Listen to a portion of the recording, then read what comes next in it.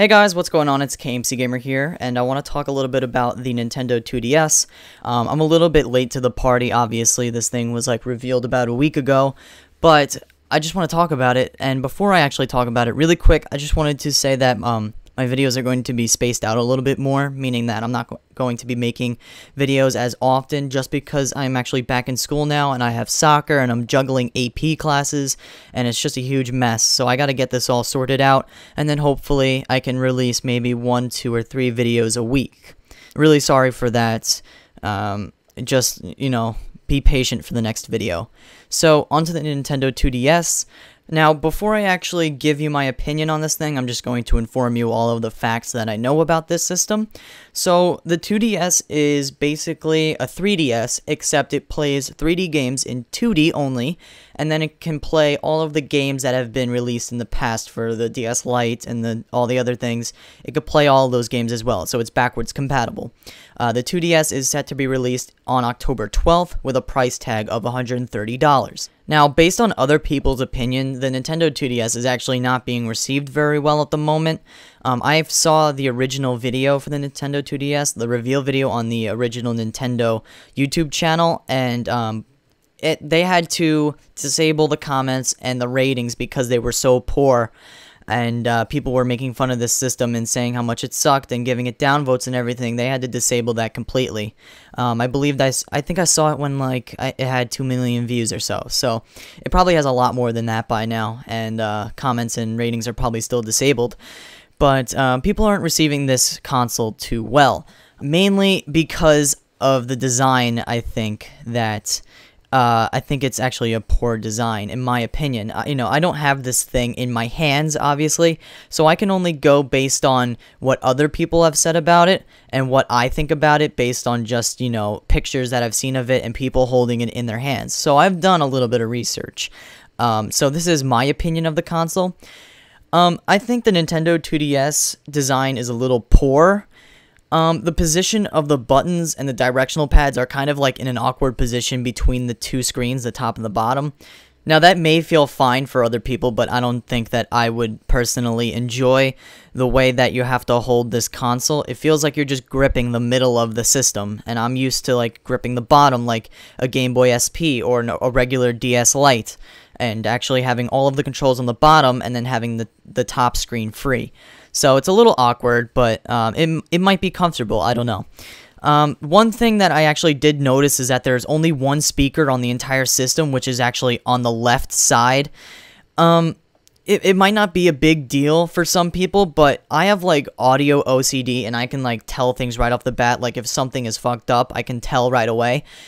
But think about it, you know, how would you like it if I played this video on the left side of your speaker only? So now you're hearing this in the left speaker only. Like, how does this sound? Does this sound appropriate to you? This is basically what it's going to sound like if you're holding this thing, you know, um, 12 inches away from your face. You know, you're only going to hear it a, like mostly in your left ear, but just a little bit in your right ear. And that kind of throws me off. So, um, it would kind of just bug me out a little bit. Maybe not enough to actually uh, not buy the console, but, you know, that's just one thing that I don't like. Uh, the shoulder buttons, they're kind of bulky, like they're really big, and they look hard to reach for kids with small hands. And the whole wedge shape of the entire console, like it's just eh, like the whole thing just screams bleh. Now, it may just be me, but I feel like this thing may be top heavy. Just because, you know, think about this. You're holding like a wedge in your hands with the skinny side in your hands and the fat part at the top. I feel like it might just want to naturally fall out of your hands because there's more in the top than there is in the bottom. So, like, think about it holding a wedge in your hand at a certain position away from your face at a certain angle. This thing might feel a little top heavy, like you might want to, like, flip it horizontal and hold it like that. I don't know. Um, people have said that it's like it feels very light, so I may be wrong with that, but um, I don't like the entire wedge shape that the 2DS has, so you know that's just my opinion.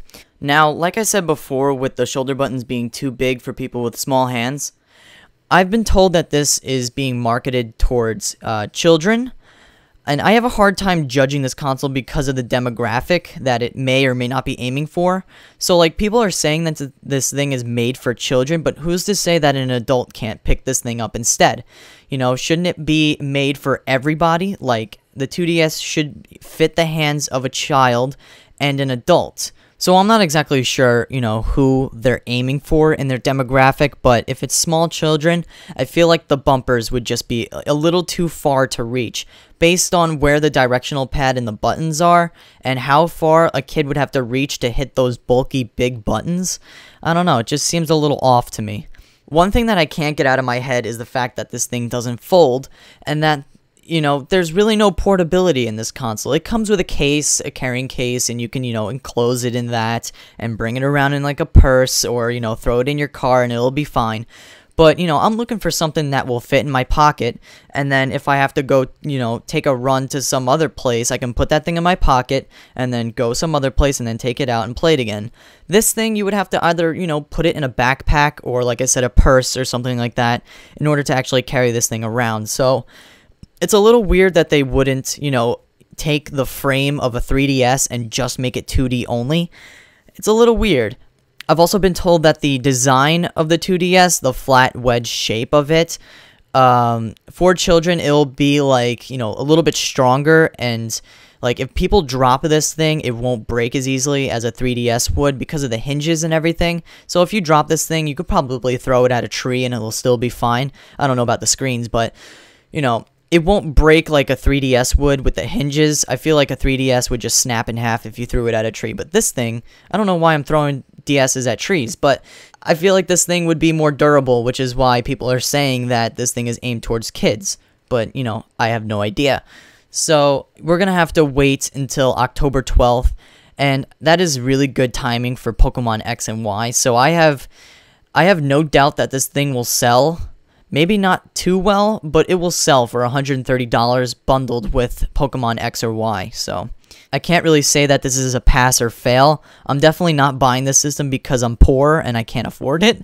I can't afford anything right now, but um, yeah, I mean, Nintendo's at it again, making new consoles and stuff. You know, this is really up to you if you want, you know, another console that plays 3DS games in 2D only and is very economical for its price and um, its durability. So, you know, you got to make that decision. So, yeah.